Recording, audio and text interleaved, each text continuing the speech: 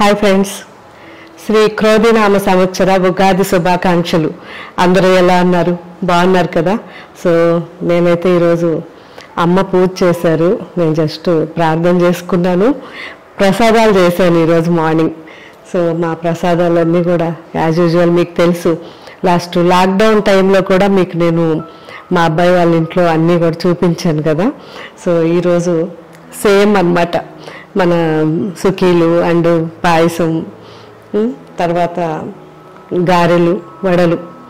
So ఇవన్నీ ఎప్పుడు పండగన్నా ఇవే రెగ్యులర్ అనమాట ఫైవ్ వెరైటీస్ సో ఈరోజు ప్రశాంతంగా కాసేపు మాట్లాడుకుందాం. మీకు ఒక ముఖ్యమైన విషయం చెప్తాను. పూజలో వాడిన ఈ పూలన్నీ కూడా మన తోటలోయేనండి. సో అన్ని చెట్లు ఉన్నాయి ఇంట్లో. అండ్ అమ్మ కూడా మల్లెపూలన్నీ ఓపిగ్గా కట్టి పూలన్నీ అమ్మవారికి పెడుతుంది.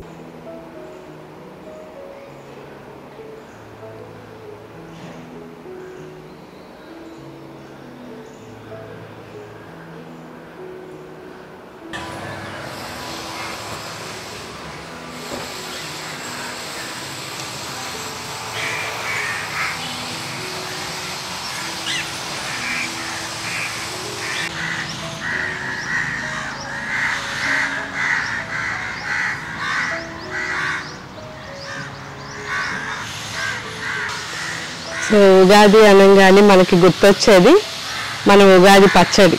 సో మేమైతే ఎలా చేసుకున్నామో కూడా చెప్తాను. కానీ చాలా సింపుల్గా మనం చేసేసుకుంటాం ఉగాది పచ్చడి అందరికీ తెలిసిందే. దాన్ని మీనింగ్ కూడా మనకు అందరూ చెప్తారు మామూలుగా పెద్దవాళ్ళు చెప్పిన విషయాన్ని అందరం చెప్పుకుంటూ ఉంటాం. సో కష్టం సుఖం అన్నీ కలిపి ఉంటాయి. అలాగే మనకి చేదు పులుపు తీపి అన్నీ కలిపిందే మన ఉగాది పచ్చడి అని అందరూ చెప్తారు. కానీ ఈరోజు నేను చెప్పబోయేది మాత్రం చాలా స్పెషల్. ఎక్కువగా బుక్స్ చదువుకున్నందువల్ల నాకున్న చిన్న నాలెడ్జ్తో కొన్ని కొన్ని మన సొసైటీలో ఒకరిద్దరు రియలైజేషన్ వచ్చినా ఒకరికిద్దరికి చాలా అన్న ఉద్దేశంతో చెప్తుంటాను. సో తప్పుగా అయితే తీసుకోకండి. మీకు బాగా అనిపిస్తే నాకు కామెంట్ పెట్టండి. సో ఫస్ట్ నేను చెప్పబోయేది ఏంటంటే మనకి ఈ ఉగాది పచ్చట్లో టోటల్ సిక్స్ వెరైటీస్ ఉంటాయి. మీకు తెలుసు. సిక్స్ ఏంటి అంటే మామిడికాయ ఉంటుంది అండ్ సాల్ట్ ఉంటుంది. నేనైతే రాక్ సాల్ట్ పెట్టాను. సాల్ట్ ఉంటుంది. వేప పువ్వు ఉంటుంది. సో ఈ మిర్చి అండ్ చింతపండు. సో టామరిన్ అంటాం కదా చింతపండు అండ్ బెల్లం. ఇవి మొత్తం సిక్స్ ఉంటాయి. ఈ సిక్స్ వెరైటీస్తో మనం ఉగాది పచ్చడి చేసుకుంటాం.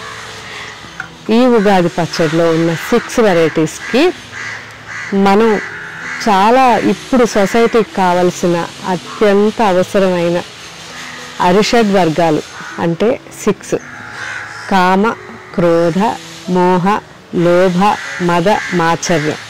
సో ఈ మొత్తం సిక్స్ ఉంటాయి. ఈ సిక్స్ని మనం ఎంత కంట్రోల్ చేసుకుంటే మనకి అంత మనకి బాగుంటుంది అండ్ మన బయట ప్రపంచం కూడా బాగుంటుంది. సో ఇప్పుడు చాలా చాలా అవసరం అని నేను అనుకుంటున్నా. ఎందుకంటే ఆల్మోస్ట్ నేను రీసెంట్గా చూశాను చాలా బ్రెయిన్ స్ట్రోక్స్ హార్ట్ అటాక్స్ ఎలా వస్తున్నాయో బ్రెయిన్ స్ట్రోక్స్ అంతకంటే ఎక్కువ కనిపిస్తున్నాయి. చాలా భయం అనిపిస్తుంది. ఏంటిది? ఈ స్ట్రెస్ ఏంటి? ఈ పరిగెత్తడం ఏంటి? వీటన్నిటి వల్ల వచ్చే ఈ బాధలు ఏంటి అని. సో కొంచెం నాకు తెలిసింది చెప్దాం అనుకుంటున్నా. కానీ దైవ నిర్ణయం ఎవరూ మార్చలేము. ఎవరికి ఎలా జరగాలో అలా జరుగుతూ ఉంటాయి. సో నేనేం చెప్తున్నానంటే ఫస్ట్ మనం మనం మ్యాచ్ చేసుకున్నాం. ఈ సిక్స్కి ఆ సిక్స్ మ్యాచ్ అవుతున్నాయి కరెక్ట్గా. సో ఉగాది పచ్చట్లో ఇవన్నీ ఉన్నాయి. ఇవన్నిటిని కూడా మనం కంట్రోల్ చేసుకోవాలని నేను చెప్తున్నాను. సో ఏంటి అంటే కామం. ఫస్ట్ కామం అంటే కోరిక. కోరిక అనగానే ఫస్ట్ మనం ఒక కోరిక పోయాక ఇంకొక కోరిక వస్తూ ఉంటుంది. మనం చింతపండు తిన్నప్పుడు కూడా వాటర్ మనకి ఊరుతూనే ఉంటుంది. మనం మింగిన తర్వాత మళ్ళీ ఊరుతూనే ఉంటుంది. అలా ఒక కోరిక తర్వాత ఒక కోరిక వస్తుంది. సో దాన్ని కంట్రోల్ చేసుకోవాలి. క్రోధం అంటే కారం. చాలా కోపం అంటే చాలా కారంతో సమానం. అందరికీ కోపం వస్తుంది కానీ ఒకరికి హాని చేయని కోపం ఎంతవరకైనా భరించవచ్చు ఎలా అంటే జస్ట్ గబగబా అరిచేస్తారు. మళ్ళీ రెండు నిమిషాల్లో కామ్గా అయిపోతాం. ఇవి మామూలు ఇంట్లో ఓకే. కానీ కోపం అనగానే పొడి చేసుకోవడము అలాంటివన్నీ ఉండకూడదు. అవి కంట్రోల్ కంప్లీట్ కంట్రోల్ అవ్వాలి. సో నార్మల్ కోపాలన్నీ ప్రాబ్లం లేదు. లేదు ఒక్కొక్కరు చూడండి ఇంట్లో ఇట్లా తీసి విసిరేసేస్తారు. వాళ్ళ కాస్ట్లీ ఫోన్స్ ఉంటాయి వాళ్ళ చేతుల్లో. ఫోన్లు విసిరి కొడతారు. లేదా ఇంట్లో వస్తువులన్నీ పాడు చేస్తారు. ఇలాంటివి ఉండకూడదు. అది కంట్రోల్ లేని కోపం. సో అది రాక్షసులకి మీనింగ్ అని నేను అంటాను. సో అది ఒక్కటి మనం నేర్చుకోవాల్సింది. ఆ తర్వాత లోభ కామ క్రోధ లోభ.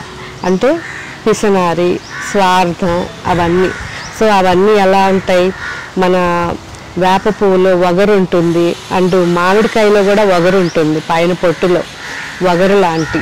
సో కొద్దిగా అయితే పర్వాలేదు కానీ ఎక్కువ తీసుకున్నాము ఆ స్వార్థాన్ని అండ్ ఆ పిసినారితనాన్ని అంటే మాత్రం కొంచెం అందరూ మన చుట్టూ ఉన్న వాళ్ళు ఫీల్ అవుతారు బాధపడతారు. సో ఎవరిని నొప్పించకూడదు. సో వగరు అనేది కొంచెం ఉండాలి. అంటే స్వార్థం అనేది కొంచెం. ఎలా అంటే మనము ఇప్పుడు మనకి ఏదన్నా అవసరం అంతవరకు దాచుకోగలగాలి. అంటే ఒకరిని ఇబ్బంది పెట్టి వాళ్ళ దగ్గర నుంచి తీసుకొని అలా బలవంతంగా ఏదో మనం ఎంజాయ్ చేయడం కాకుండా మన డబ్బులతోనే లేదు అంటే మనం హాస్పిటల్కి వెళ్ళాలని మన వాటితో మనం ఎంజాయ్ చేయాలి తప్పిస్తే. అంటే ఎంజాయ్ అంటే హాస్పిటల్ అని ఎంజాయ్ అన్నాను అనుకోవద్దు. జస్ట్ మన నీడ్స్ ఏమన్నా ఉంటే అంతవరకు స్వార్థం ఉండాలి తప్ప ఒకరి మనీతో మనం ఏదో లాగేసుకొని స్వార్థంతో ఏదో చేయాలనేది అస్సలు ఉండకూడదు. పిసినార్తనం అనేది మనం ఒక ఈ అరిషడ్ వర్గాలన్నిటికీ సంబంధించింది వస్తుంది పిసినార్తనంలో ఎందుకు అంటే మనం అన్నీ కంట్రోల్ చేసుకునేది పిసినార్తనం కిందే వస్తుంది కానీ లోభ అనేది వేరే. సో ఆ లోభ అంటే ఒకరి కష్టాలు సుఖాలు పట్టించుకోకుండా అలా ఉండి డబ్బులు మాత్రం తీయం మేము ఇలాగే ఉంటాం అనేది కరెక్ట్ కాదు. సో మన చుట్టూ ఉన్న వాళ్ళని మనం వాళ్ళ కష్టాలు సుఖాలు కొంచెం పట్టించుకోవాలి. పట్టించుకొని వాళ్ళకి ఏం కావాలో చిన్న చిన్నవి మన చేతనైనవి చేయాలి. ఇంతే. ఇది మనకి కంపల్సరీ ఉండాల్సింది. సొసైటీలో ఇప్పుడు లేనిది చాలా ఇంపార్టెంట్. అండ్ నెక్స్ట్ మోహం. మోహం అంటే ఆకర్షణ. ఆకర్షణ ఎలా ఉంటుందంటే స్వీట్ లాగా ఉంటుంది. సో డయాబెటిక్ ఉన్న వాళ్ళకి తెలుస్తుంది. ఈ స్వీట్ బాధ ఏంటో. సో ఎంత ఆకర్షిస్తుందో కదా. డయాబెటిక్ అనే కాదు నార్మల్ వాళ్ళు కూడా మనకి స్వీట్ చాలా ఆకర్షిస్తుంది. సో ఎవరైనా సరే స్వీట్స్ మంచి విషయానికి స్వీట్స్ తీసుకుంటాం. అండ్ చాలా వరకు మనం ఎక్కువైనా ఏదైనా సెలబ్రేట్ చేసుకోవాలంటే స్వీట్ తీసుకుంటాం కదా. సో ఆ స్వీట్ ఇది కానీ డయాబెటిక్ వాళ్ళలాగే మనం కూడా మా కొంచెం తినడం ఓకే కానీ ఎక్కువ తిన్నామంటే ఆ ఆకర్షణ అనేది ఎక్కువ అయింది అంటే అది అది కూడా చెడుకు దారితీస్తుంది. సో ఇవాళ పబ్లిక్లో కానీ మనకి ఎక్కువగా సొసైటీలో ఉండేది ఎక్కువ అట్రాక్ట్ చేయడం. ఇది కంట్రోల్ ఉంటే బాగుంటుంది. సో ప్రతిదీ చూసిందల్లా మనం కావాలనుకోవడం ఆ తర్వాత కోరిక పెరగడం ఆ కోరిక తీరకపోతే క్రోధం రావడం. సో ఇవన్నీ ఉంటాయన్నమాట లింక్ ఇవి. సో ఇది కూడా మనం కొంచెం కంట్రోల్ చేసుకోవాలని మన పెద్దవాళ్ళు చెప్పింది. నెక్స్ట్ మదం. మదం అనగానే చేదు. చెప్పాలంటే చేదు. అహంకారం. నేను. నేను అనేది అహంకారం. సో ఆ నేను అనేది మన రమణ మహర్షి దగ్గర నేనైతే నేర్చుకున్నాను కొంత. కానీ అయినా కానీ ఈ మధ్య కొంచెం మన బిజినెస్లో అప్పుడప్పుడు కొంచెం కంట్రోల్ తప్పుతుంది. మళ్ళీ మామూలుగా రావడానికి కొంచెం సాధన చేయాల్సి వస్తుంది. సో తప్పనిసరిగా నేను అనేది అస్సలు ఉండకూడదు. అది అహంకారంకి సంబంధించింది. మదం అన్న అహంకారం అన్న ఒకటే. సో దాన్ని వదిలేయాలి. అది ఉంటే కూడా మనం మన చుట్టుపక్కల వాళ్ళు ప్రశాంతంగా ఉండరు. సో నేను నాకు నాది ఇవన్నీ కొంచెం తగ్గించుకుంటే అందరూ హ్యాపీగా ఉంటారు. సో చుట్టుపక్కల మన ఫ్యామిలీలో ఉన్న వాళ్ళు హ్యాపీగా ఉంటే మన ఇంటి చుట్టూ వాళ్ళు హ్యాపీగా ఉంటే ఆ తర్వాత మన సొసైటీ హ్యాపీగా ఉంటుంది. కాబట్టి మదం కూడా కంట్రోల్ అవ్వాలి. మన ఈ చేదుని నేను మదంతోనే పోలుస్తాను. ఎందుకంటే ఈ రెండు ఒకటే. అండ్ నెక్స్ట్ లాస్ట్ మాచర్యం. మాచర్యం అంటే ఈర్ష పగ ద్వేషం. సో ఇవి ఉంటే మాత్రం టోటల్ మన బాడీలో అన్ని ప్రాబ్లమ్స్ వచ్చేస్తాయి. బీపీలు ఇప్పుడు వచ్చే స్ట్రెస్లు ఇవన్నీ కూడా వాటి వల్లే అని నేను అనుకుంటాను. సో మాత్సర్యం అంటే ఈర్ష ఒకరిని చూస్తే ఈర్ష భరించలేరు. అసలు నిజంగా నేను నా వరకు నేను భగవంతుడికి నిజంగా ఎంత థ్యాంక్స్ చెప్పుకుంటాను బాబాకి కానీ మన శివయ్యకి. అసలు ఆ- ఆ ఈర్ష అనేది నాకు రానే రాదు. అసలు వన్ పర్సెంట్ కూడా రాదు. ఎవరిని చూసినా అలా చూస్తూ ఉంటాను తప్ప హ్యాపీగా ఎంజాయ్ చేస్తా. వాళ్ళు ఏమన్నా వేసుకున్నా ఏదన్నా ఉన్నా. కానీ నాకు అవి వేసుకోవాలని కానీ అవి తీసుకొని అలాంటివి చేయించుకోవాలని ఏది ఉండదు. సో నాకైతే చాలా నా వరకు నేను లక్కీ ఈ విషయంలో. సో ఈర్షకి సంబంధించింది. మనం సాల్ట్ సో నేనైతే సాల్ట్ చెప్తున్నాను ఎందుకంటే అన్నిట్లోకి ఇప్పుడు ప్రజెంట్ మనకి అందరూ చెప్పేది సాల్ట్ చాలా డేంజర్ అంటారు. కానీ కొద్దిగా ఉండొచ్చు. ఈర్ష అంటే మన ద్వేషం అంటే అవన్నీ కూడా చాలా కొంచెం. అంటే ఇప్పుడు మనం సపోజ్ మన ఇంట్లో ఉన్నాం. మనం ఒకరిని బాగా ఇష్టపడుతున్నాం. వేరే వాళ్ళు ఇష్టపడుతున్నారు. కొంచెం మనం మన ఇంట్లో వాళ్ళని కదా. ఇంకొంచెం బాగా చూసుకోవడం. అంటే అంతే వా- అలా చిన్న చిన్న ఈర్ష్యలు ఓకే కానీ పక్కన వాళ్ళు ఏదో బాగుంటే మనం చూసి అబ్బా వీళ్ళు ఇలా ఉన్నారు మనం ఇంకా ఇది అలాంటివి ఉండకూడదు. ఒకరి ఒకరికి ఇంట్లో మనం ప్రేమ చూపించేటప్పుడు అవతల వాళ్ళు మనకి మనకి ప్రేమ చూపించేది దాన్ని చూసి మనం ఇష్టపడి ఇంకొంచెం మనం ప్రేమగా ఉండడానికి ట్రై చేయాలి. అంతే తప్పిస్తే ఈర్షలు పగలు. నా స్టోరీ ఇంతకు ముందు కూడా మీకు చెప్తున్నాను. మన కంచి కామకోటి పీఠాధిపతి శ్రీ చంద్రశేఖర పరమాచారి గారు ఒక చిన్న స్టోరీ చెప్పారు. నేను చిన్నప్పుడు చదివాను అది. ఏంటి అంటే అరిషడ్ వర్గాలు. అరిషడ్ వర్గాలన్నిటి మీద ఒక ముని తపస్సు చేస్తూ పైనుంచి మన స్వామి విష్ణుదేవుడు వచ్చి నీకేం ఏం కావాలి? అన్నప్పుడల్లా ఒక్కొక్కసారి ఒక్కొక్కటి చెప్తున్నాడంట. సో నా దగ్గర ఉన్న కామం తీసుకెళ్ళాను ఒకసారి. మళ్ళీ తపస్సు. మళ్ళీ తపస్సు తర్వాత నా దగ్గర ఉన్న క్రోధం తీసుకెళ్ళు. మళ్ళీ తపస్సు. మళ్ళీ ఆయన ప్రత్యక్షం అవడం. నా దగ్గర ఉన్న లోభం తీసుకెళ్ళు అనడం. మళ్ళీ తపస్సు చేయడం. ఇలా మోహం తీసుకెళ్ళు. ఆ తర్వాత మదం తీసుకెళ్ళు. మాచర్యం తీసుకెళ్ళు. అన్నీ నువ్వు తీసుకునేసి అనేసరికి ఆయన సిక్స్ టైమ్స్ వచ్చి ఆయనకు అన్నీ ఓకే చెప్పిన తర్వాత స్వామి కింద ఉండిపోయాడు ముని పైకి వెళ్ళిపోయారంట ఎందుకు అంటే ఈయన ఇచ్చినవన్నీ ఆయన తీసేసుకోబట్టి ఆయన కింద ఉండిపోయారు.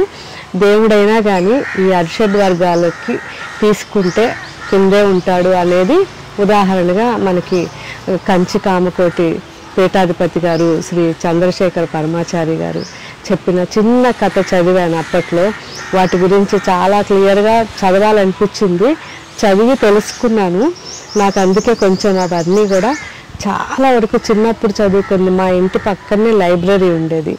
దాంట్లో చదువుకోవడం వల్ల నాకు ఇలాంటి చిన్న చిన్న జ్ఞానాలు కొద్ది కొద్దిగా ఉన్నాయి కాబట్టి నేను ఏటికి అట్రాక్ట్ అవ్వను. సో మీరు కూడా అట్రాక్ట్ అవ్వకండి. ప్రశాంతంగా ఉండండి. అందరూ బాగుండాలని కోరుకుందాం. అందరూ ఆరోగ్యంగా ఉండాలి. మన చుట్టూ ఉన్న వాళ్ళు చక్కగా పలకరించుకుంటూ ఎటువంటి గొడవలు ఏదీ లేకుండా హాయిగా ఉందాం. సో అది మనకి మంచిది మన సొసైటీకి మంచిది మనకు తెలిసింది మన పిల్లలకు కానీ మన వాళ్ళకి అందరికీ మన చుట్టూ ఉన్న వాళ్ళందరికీ నేర్పిస్తూ ఉంటే నిజంగా చాలా బాగుంటుంది. సొసైటీలో కొంచెం చేంజెస్ వస్తాయి. దయచేసి ఇది చాలా డీప్గా ఆలోచించండి అర్థం చేసుకోండి. నాకైతే ఈరోజు మీకు ఇది చెప్పాలనిపించింది. Once again happy Ugadi so అందరూ కూడా పండగ బిజీలో ఉంటారు కాబట్టి నేను మీది ఎక్కువ టైం తీసుకోను. కానీ ఇది చెప్పేశాను ఇంకా మీరు కూడా నాకు కామెంట్స్ పెట్టాలి ఎలా నేను చెప్పింది ఎలా ఉంది కరెక్టా కాదా అనేది నాకు కామెంట్స్ పెట్టండి. నేను అన్నీ ఈరోజు ఈవినింగ్ లోపల చూసి మీకు నేను అన్నీ రిప్లై ఇస్తాను. Thank you